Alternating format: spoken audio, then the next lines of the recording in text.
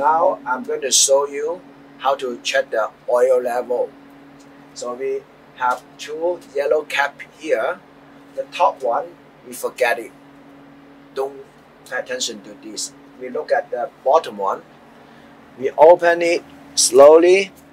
This has to be done with the unit stop and off.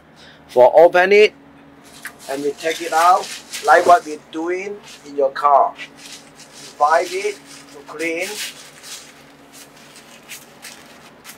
and then put it back on and screw it all the way down.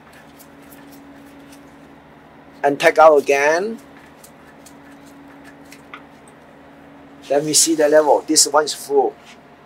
So as long as the level between here half of it I would say is fine. If below half we might need oil what kind of oil we use? 10W30 for diesel. 10W30 why we use this only? We cannot share the same oil with the truck because Canada is cold. We have to make sure the oil is good for the cold weather. If the oil is too sticky sometimes the reefer cannot start by himself in winter. Nobody watch the reefer outside. The truck we have a driver. So we have to pick the right oil for the reefer then we have to check the coolant level. The coolant bottle is up there. You cannot see it until you open the top hood this is new unit some old unit you still need to open the top hood so we open it you don't need to open all the way up. If you stand above your truck, you just open little bit enough and look at the top. You see the coolant bottle with the red coolant inside. As long as you see it's full, that would be fine.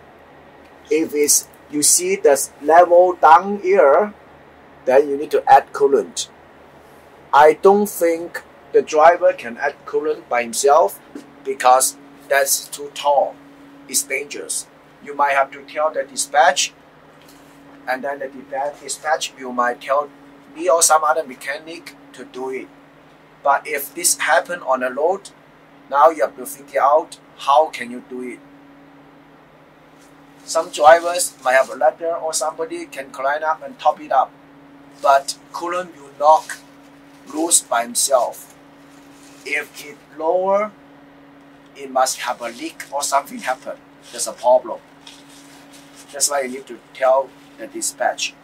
I will introduce you how to read the different codes or alarms. Now we go to how to check the alarms.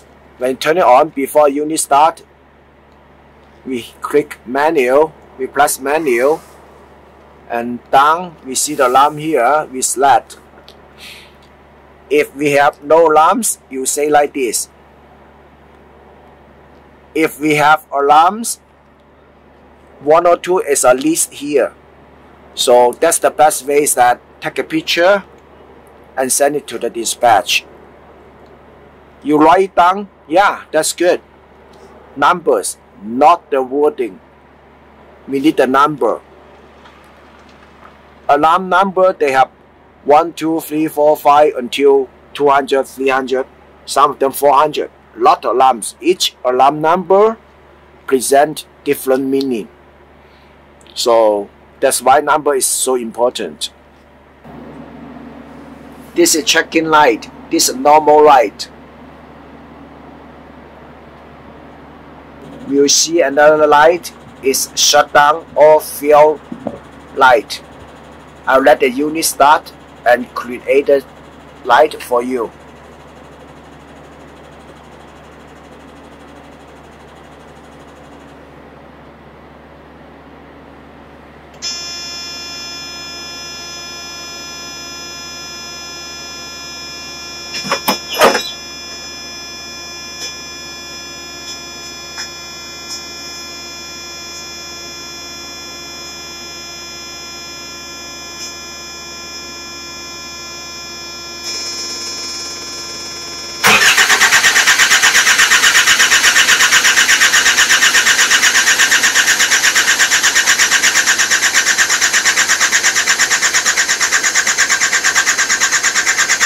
Unit try to start, but no diesel.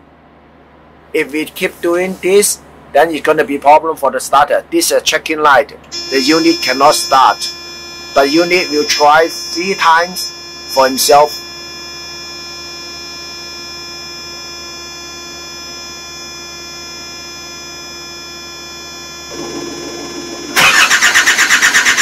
This is the second time try.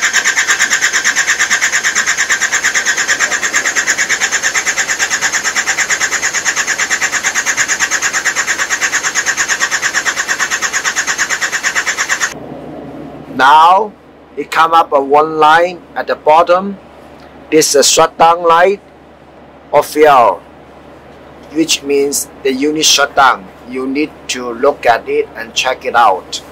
Now we got a good example for leaking fluid. When we walk along track, we can see there's a dripping red coolant on here, the bottom of the unit. This is coolant, it's red. We can see the floor on the bottom. This is red. So that means we have a coolant leak from the unit. Where's the leak? We don't know. As being a driver, we don't care where's the leak, but we need to report this to the dispatch, and then the dispatch will inform the mechanic. Obviously, you are not supposed to use this trailer. When we check the fuel tank, we need to look at the bottom of the fuel tank, see if there's a diesel leak or not. Sometimes the diesel tank was damaged on the load and you didn't notice that. It's slowly dripping. In the yard, then you drip a little bit, little bit. When you go on the load, the MTO will catch you and give you fine. For the diesel in the tank, we have to pay attention one thing, especially in winter. Usually we'll put the diesel conditioner into the tank. I will say one bottle, one tank of fuel. Why we need to do this? Because the diesel in Canada, Canada is so cold that the diesel might become gel or frozen. Then the reefer cannot pick up the diesel and then you stop. And then the air will go into the fuel system and will not stop anymore because the diesel is frozen like ice or like a gel. How can we stop or prevent this? We put the diesel conditioner into the tank before the cold weather coming.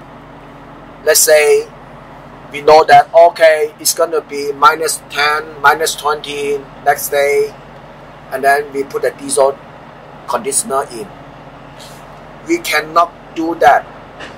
Let's say we forgot it the tank is become gel or too cold already and then you put the diesel conditioner in it cannot melt the gel of unfrozen it that's not the function of the diesel conditioner we have to put it in to prevent become gel or frozen.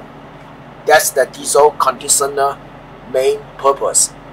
If a diesel is gel or frozen already, don't expect that you put the diesel conditioner in and you will unfroze it or ungel something. No, it will not happen. When it's become gel, it will stay that status until the warm weather comes. But in winter, it never comes. You have to put inside the shop so that it will complete unfrozen it. And then put the air con- the, the, the diesel conditioner in and to prevent it. But that takes time. I think it's not this block. So we go through the whole reefer operation today and the inside mostly explain the reefer operation, the reefer main components, and some alarms, self-priming system, and the diesel conditioner in winter. Those things are necessary on the road.